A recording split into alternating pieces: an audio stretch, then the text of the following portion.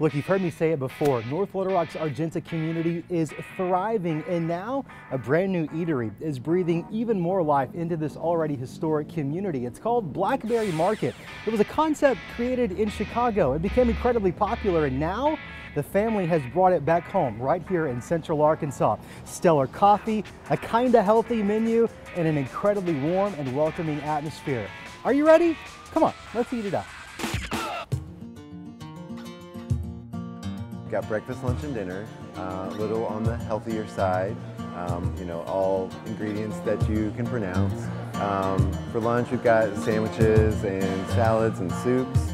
Uh, we also have a market case with a rotating selection of different salads that you can choose from. Everything like from our biscuits um, to the things in our grab and go case uh, downstairs, just all of that is like being made here.